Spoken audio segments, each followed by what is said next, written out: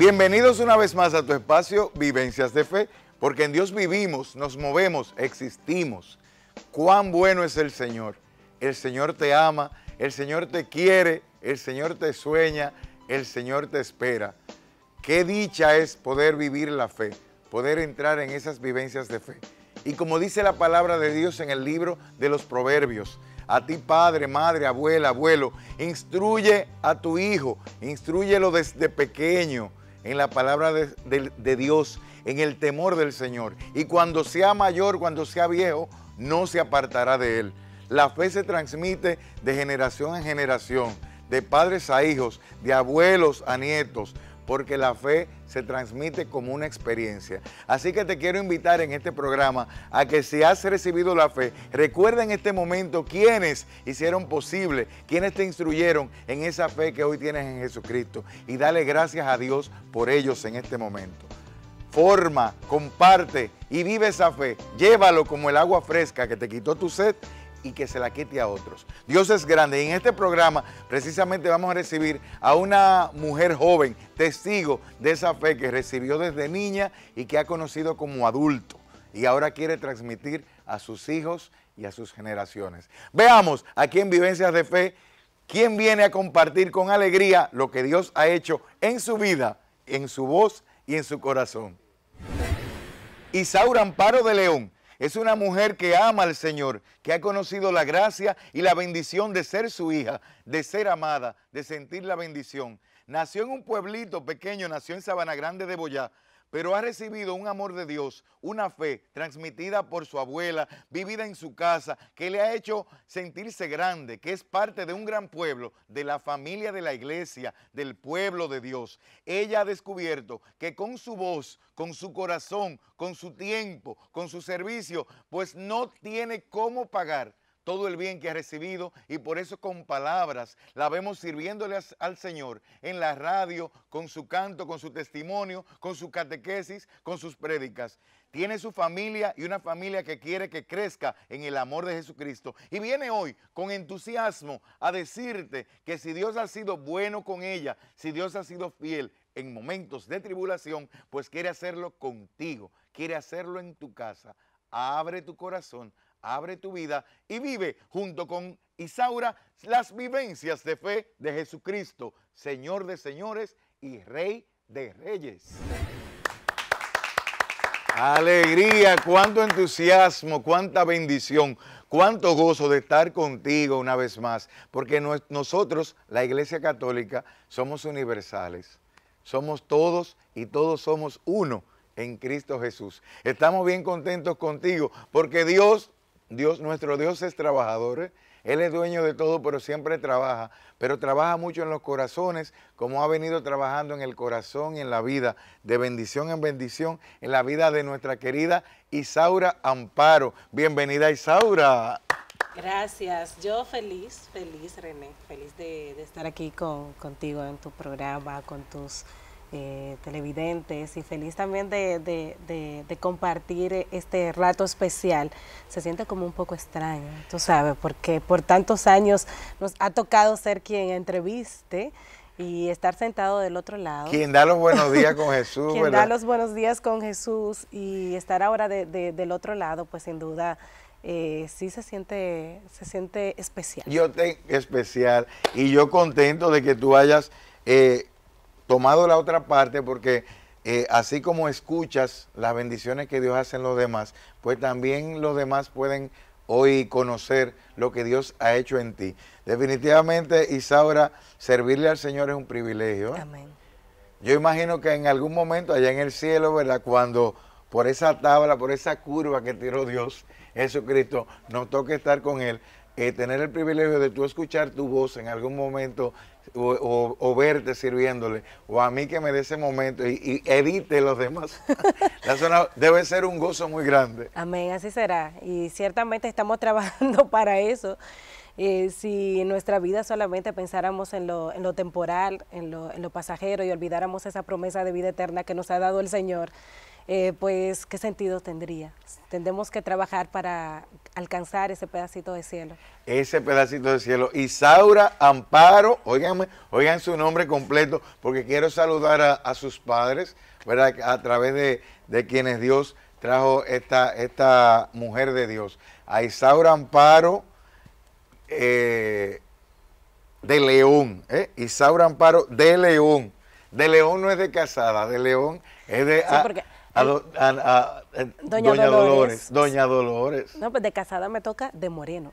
De León de Moreno, ¿eh? De León de Moreno. Me, toca de Moreno, pero eh, la gente se, se, identifica desde siempre, desde el colegio, siempre era Isaura Amparo, Isaura Amparo. Y Isaura Amparo porque pensaban que el Amparo era de mi segundo nombre no que era apellido. Entonces, el de León, ya luego de, joven adulta, pues sí lo asociaban como que era el apellido de casada. Entonces, por eso me quedé con el Isaura Amparo. Isaura Amparo. Isaura Amparo, la, la hija de Don Fonso y de Doña Dolores, ¿eh? Bienvenido, por ahí me dijeron, doña Dolores, que usted nos honra con su sintonía. Muchas bendiciones. Pues don Ponzo y doña Dolores, cuéntanos dónde nace Isaura. Isaura es dominicana, pero Isaura no, es, no es capitaleña. No, no soy capitaleña. Eh, digamos que eh, yo nací en un pequeño pueblo eh, de Sabana Grande de Boyá, que se llama Gonzalo. es un pueblito muy pequeño, pero sin duda que, que marcó mi historia aunque viví la primera parte de mi niñez en, Gonzalo, pero sí fue desde ahí donde nació mi fe, porque la primera parroquia que, pisé, la primera iglesia, mi primera catequesis, la boda de mis padres cuando se casaron por la iglesia, fue en, ese, en, esa parroquia de, Gonzalo.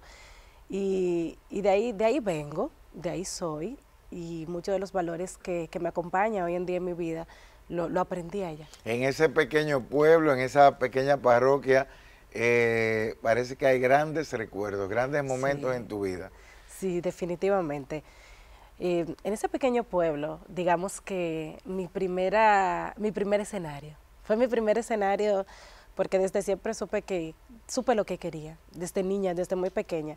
Mi papá eh, arreglaba electrodomésticos eh, en, el sector y cada vez que papi destapaba un radio, yo le decía, papi, pequeñita, cuando tú vuelvas a arreglar otro radio, antes de cerrarlo, llámame para que me pongas adentro. O sea, tú querías estar dentro del radio. Dentro del radio, para hablar, porque yo quería hablar como la gente hablaba por la radio. También recuerdo que justamente ahí, eh, junto con mis primos, también fue mi escenario, porque nosotros agarrábamos un, palito y con una naranja, ese fue mi primer micrófono. ¿eh? Y ese palito nosotros hacíamos shows eh, jugando y para la familia. Recientemente fue una anécdota muy especial porque entrevistamos a Eddie Herrera y le decíamos a Eddie Herrera, mira, el primer artista que yo presenté en un evento familiar fue Eddie Herrera y eran mis primitos cantando. Y bueno, eh, de ahí hay muchos momentos especiales. Eh, el entorno donde crecí muy con mucho amor de mis padres, de mis abuelos, mis tíos, porque casi la, familia paterna vivía muy cerca. Eh, momentos que sí, que nos marcaron como familia, que de ahí justamente viviendo en, en Gonzalo murió mi hermanito, mi hermanito menor, y a raíz de eso tuvieron una pérdida. Tuvimos una pérdida que, nos marcó muchísimo, tanto que tuvimos que mudarnos porque mi mamá no pudo superarlo. ¿Qué edad tenía el niño? Tres años y murió ahogado. Qué, qué pena, ¿eh? Y eso nos marcó grandemente como familia y, ciertamente tuvimos que mudarnos por eso. Eh, mi mamá no, no, no superaba. Eh, esa situación y, bueno, pero en los planes de Dios, Él necesitaba un angelito en el cielo y, sabemos que está ahí. Sí, Dios, me llama la atención cómo Dios va, va abordando con, tus decisiones, con sus momentos difíciles, con sus dolores, va abordando un plan perfecto que nosotros no logramos entender. Entonces, eh, Dios, Dios sabía todo lo que, iba, que ustedes iban a vivir y todo lo que, todos los momentos donde Él los iba a acompañar. Me llama la atención que ya tú soñabas y jugabas los sueños que Dios tenía contigo. Porque cuando algo está en el plan de Dios se da, cuando algo no está en el plan de Dios no se da.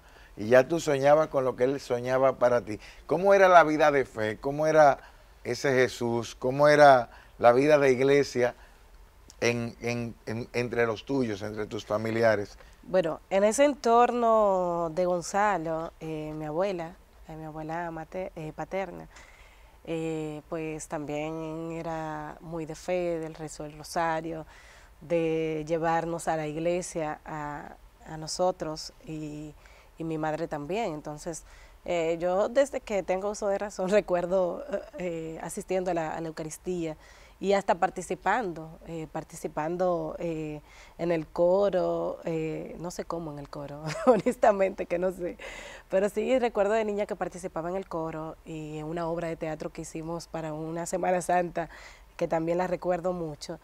Y desde toda mi vida ha sido dentro, dentro de la iglesia. Tu niñez la jugaste, la soñaste y tu vida cotidiana ya para ti era natural las cosas del Señor. Sí, sí, evidentemente. Claro, si llega un punto en la vida donde tú tienes más conciencia, eh, de pequeño nuestros padres nos llevan a la iglesia eh, y nosotros vamos adquiriendo esa formación, pero ya llega un punto en, donde eh, pues tú sientes una necesidad y ya tú reconoces a Dios y, es algo más de ti, que eso pasó justamente en mi adolescencia. cuando me preparaba para la catequesis de, de de comunión, viviendo aquí en, la capital. ¿A qué edad vienes a vivir aquí a, Santo Domingo? ¿Cómo se da eso? Ocho años. Eh, ocho años, yo tenía ocho años eh, cuando vinimos a la capital, se da eh, justo después del momento en que pasó lo de mi hermanito y entonces nosotros vinimos a la capital, primero nos mudamos en casa de una tía, hasta que fuéramos estableciéndonos, mi papá tuviera trabajo y todo eso, y luego pues nos trasladamos del entorno de mi familia paterna al entorno de mi familia materna, que es cuando entonces nos mudamos a Sabana Perdida. A Sabana Perdida. Entonces, eh, cuando te preparaban ya para la primera comunión, ya, ya ahí tú tenías más conciencia. Claro, porque ya no me llevaban, ya era yo que iba a la iglesia. Entonces, eh, ahí se dio algo muy especial y es que en, esa preparación de la catequesis, eh, una de mis compañeras. Yo siempre he sido como la más pequeña del, de mi grupo. Te prepararon la más pequeña, pero vamos a ir a esta pausa y no te muevas para ver cómo ya la que llevaban a la iglesia, ya era ella que quería ir a la iglesia.